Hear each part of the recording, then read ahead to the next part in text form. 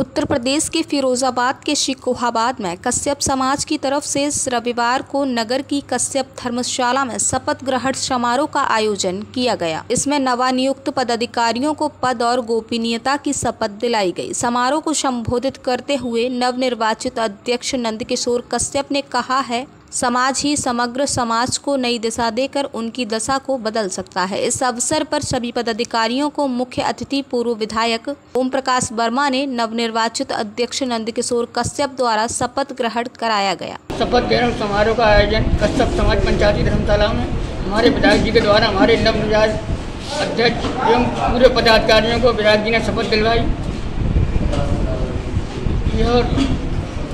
भी जितने भी हमारे जो भी लोग आए, उनका मैं सभी लोग को धन्यवाद करता हूँ सही दिल से शुक्रिया अदा करता हूँ, जिन्होंने आज काफ़ी संख्या में भीड़ इकट्ठी हुई और समाज के बंधुओं ने यहाँ मेरा बहुत सहयोग किया, बहुत साथ दिया।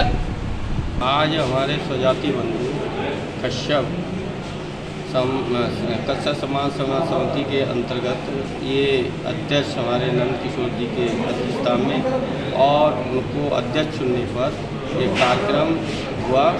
और हमारे सभी समाज के सभी कोने कोने से, हर शहर से लोग आए और हमारे सभी बुज़ुर्ग और सभी नौजवान भाई और सभी पत्रकार बंधु यहाँ आकर इस समिति के कार्यक्रम में भाग लिया। मैं सभी स्वजाति बंधुओं से यही कहूँगा कि सब एक के रहकर एक संदेश दें कि हम सब समाज एक हैं और हम अपने बच्चों का जो आजकल जो समाजें आगे बढ़ने का काम कर रही है। जब हमारे समाज में शिक्षा होगी तो मैं समझता हूँ आगे बढ़ने का काम करेगी। सभी हमारे समाज के लोगों ने आज गांधी जयंती पर और लाल बहादुर शास्त्री की जयंती पर यहाँ संकल्प लिया और हमारे महर्षि कश्यप और गौरा निषाद जी के फूल चलाकर यहाँ संकल्प लिया।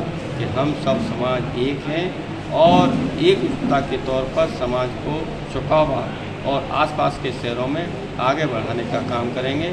और अध्यक्ष हमारे नंद किशोर जी ने संकल्प लिया, उन्होंने सबका स्वागत किया कि हम सब समाज को इकट्ठा करके और समाज में एक जागृति पैदा करेंगे कि हम लोग किस तरीक़ा से आगे बढ़े। ये आज हमने संकल्प किया